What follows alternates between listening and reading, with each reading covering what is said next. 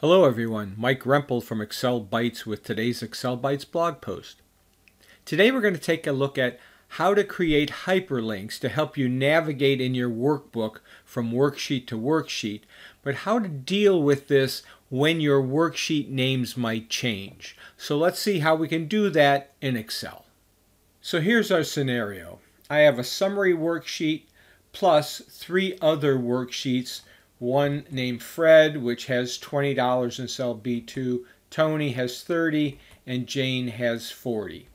And so what I've created here is just a simple scenario where I'm using the indirect formula and referencing the cell A2 here, or A3 and A4, to pull in the worksheet name so that I can get a total or pull in the value that's in cell B2 in any one of those worksheets. And then I get a grand total at the bottom. So if you have a scenario where you might have 20, 30, 40 worksheets and you want to easily navigate between them without having to scroll through the bottom to find those worksheets, you can use hyperlinks. So for example, if I right clicked here and went down to link and I said go to a place in this document. I will go to the worksheet named Fred and cell A1. I'll say OK. And notice now it's created a hyperlink. And when I click on that, it takes me to the worksheet Fred and to cell A1. Now the problem exists here if for some reason you need to have a document where you need the flexibility to change the worksheet names. So for example, if I changed Fred here to Joe, went back to my worksheet, now it breaks my formula, but I can easily fix that by just changing this to Joe, and that works. But when I click on the hyperlink, now I get an error that's telling me the reference is not valid.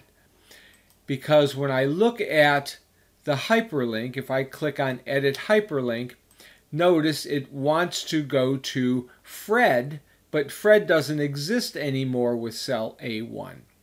So how do we create a scenario where it doesn't matter what the worksheet name is? Well, the way to do that is using define names rather than cell references. So for example, if I went over to the worksheet named Joe, and I went to cell A1, clicked on the name box, and I could name this whatever I want. I'm just going to say AAA. So now that cell is named AAA. And if I go to my formula bar, name manager, and click edit, you'll see the name is AAA and it references Joe cell A1. So now if I go to my summary worksheet, click on this link, I still get that reference is invalid. But if I right click, edit that link and instead of referencing Joe in cell A1, I'll reference the defined name. I'll say OK. Now when I click on this link, it takes me to that cell named AAA, regardless of where in my workbook that is. And if I change the name of my worksheet to Fred, and I fix that here and change it to Fred, so I get the right cell pull there.